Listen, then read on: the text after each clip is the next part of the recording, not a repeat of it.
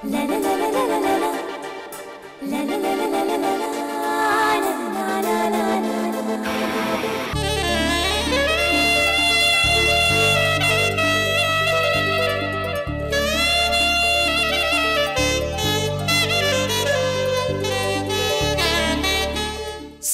వాకిట్లో సిరిమల్లె చెట్టు.